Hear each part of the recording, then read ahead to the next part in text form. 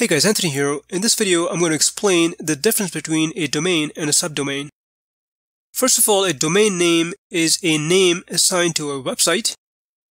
Essentially, it is the address that allows internet users to access your website. For example, my website name or domain name is www.ajgodinho.com. So let's dissect this domain name. The .com portion is referred to as the top-level domain or TLD. AJ Godinho is the second-level domain or SLD. And finally, the www is the subdomain. You can create multiple subdomains from your main domain. For example, I've created a subdomain called demo.ajgodinho.com.